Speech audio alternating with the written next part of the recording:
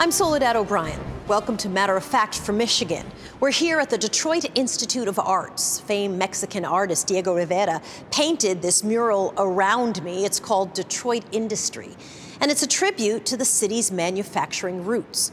But Detroit didn't just build cars, it manufactured hope. It was where the American dream came to life. With a large block of blue collar workers, Michigan eventually became part of the reliable blue wall for Democrats. Until 2016, when Donald Trump won the state by the slimmest of margins, less than 1% of the vote. Michigan hadn't gone red since electing George H.W. Bush back in 1988. But in 2020, pundits of every stripe acknowledge black women voters will be the kingmakers or queen makers. They turned out more than any other group in 2016 and in 2012. African American women have long been political players. Our special correspondent, Joie Chen, retraced the steps of some of America's greatest political forces to understand their influence here in Detroit as part of our matter of fact listening tour. The rich red Georgia clay once sprouted fields of cotton and made a comfortable life for families like Grace Allen's. But in the early 1950s, they, like so many others, moved north, wanting more. We wanted to do a, a better living. We wanted to do more than just chop cotton and pick cotton and hoe and, and do this and that and the other. And your children. Mm-hmm. You didn't want them to have that life. I wanted them to have a better life than I had. She brought her two boys north to a strange city, got a job working on the assembly line, and built two businesses of her own. I just wanted to do something to help somebody. A conversation in a barbershop is the most authentic thing that you can have in Detroit. At the Cut It Out Barbershop on Detroit's east side, It's just what we do. Marlowe No Stoudamire tells us There's the no history of his credit. city. As early as maybe 1915, when a lot of black people were transitioning from the South, white South primarily, to come to Detroit for a better opportunity. Um, That's the Great Migration. that's the Great Migration. Some 6 million African Americans moved north in what's known as the Great Migration.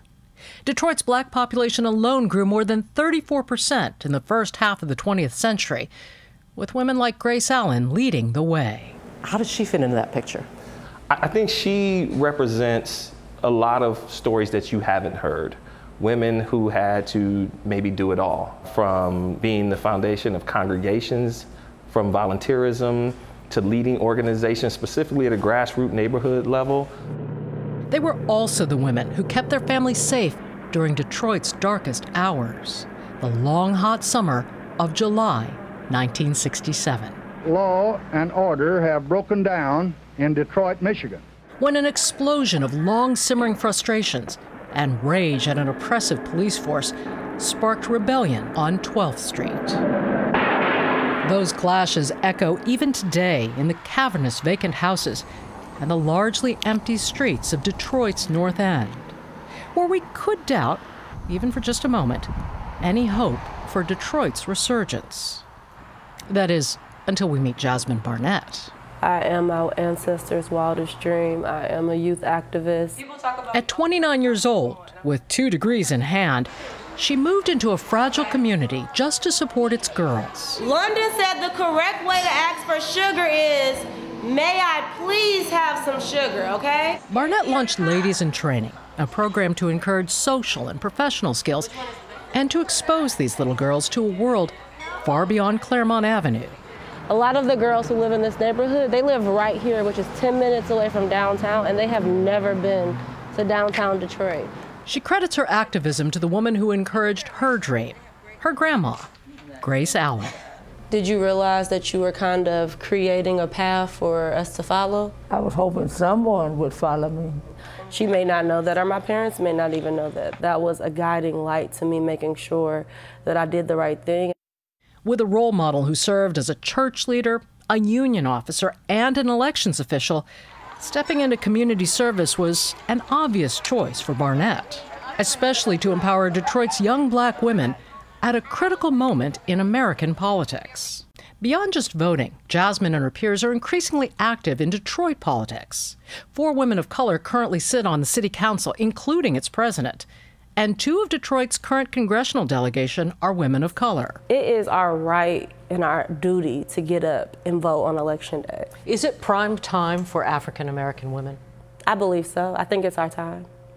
I think it's our time because after so long, you can't take no for so long. You have to go out and get your yes. Show me the correct way. Getting their yes and getting ready to lead another generation of women in power. In Detroit, I'm Joie Chen for Matter of Fact.